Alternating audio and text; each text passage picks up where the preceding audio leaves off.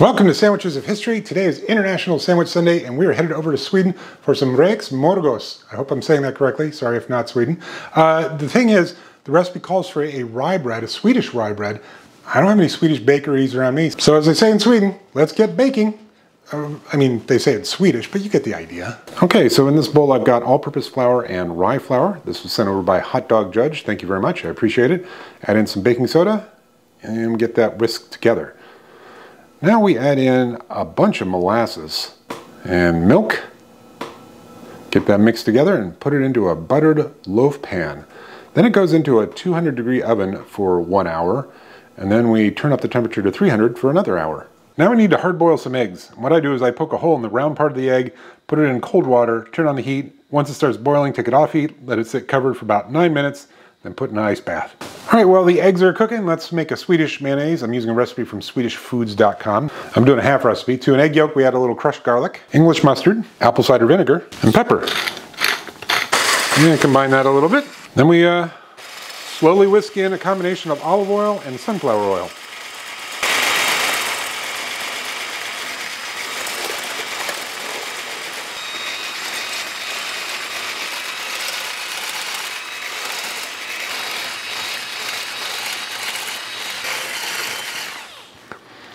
There you go, we got a loaf of Swedish rye bread. Now we just gotta let it cool a little while. All right, now we're gonna poach some shrimp. Got the water boiling, put the shrimp in, gonna take it off heat for about five minutes. Now we season our shrimp with salt and pepper, a little bit of lemon juice, cut off a slice of this Swedish rye, put down some of our Swedish mayo, a leaf of lettuce, sliced cucumber, our sliced hard-boiled egg, and then our shrimp. Now I couldn't find shrimp that were smaller than this except for the ones in the can, and uh, those are really small, so I'm going deluxe. Then we're to put a little mayonnaise on, just to kind of gild the lily, and some fresh dill. I took a bite out of it already, but I forgot to record, so let's give this Räksmörgås a go again. So you have the sweetness of the Swedish rye bread, which is not too far off from a Boston brown bread. Uh, you've got the richness of that mayonnaise, the fresh crunch of the cucumber, the eggs, salt, pepper, and then that brightness of dill that goes with everything, including the shrimp, which are uh, tasty. Mm. That's it, I am gonna plus this up. I'm gonna add another slice of mayonnaise bread. Okay, let's give this Räksmörgås plussed up with an additional piece of bread. Go. So the original Räksmörgås, I thought it was delicious. Uh, I probably should have been eating it with a knife and fork. I'm pretty sure I completely violated Swedish etiquette on that one. Sorry about that, Sweden.